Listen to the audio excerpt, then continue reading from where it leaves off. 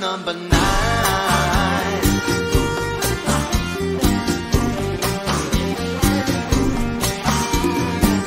I told her that I was a flop with chicks. It's been that way since 1966.